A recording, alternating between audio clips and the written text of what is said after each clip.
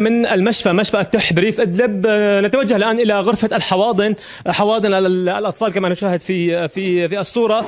آه، ندخل الان هذا هو آه، ما سلم من من المشفى. غرفة الحواضن حواضن الأطفال تحولت إلى ركام وتدمرت بشكل جزئي. داخل هذه الغرفة كان هناك أكثر من سبعة أو ثمانية أطفال داخل هذه الحواضن التي تعرضت لشظايا صواريخ الروس التي سقطت على هذه المشفى بشكل بشكل مباشر.